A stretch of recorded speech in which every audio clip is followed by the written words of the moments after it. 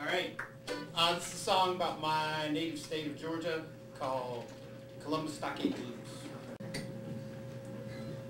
Way down in Columbus, Georgia, I want to be back in Tennessee. Way down in Columbus Stockade, all my friends back on me.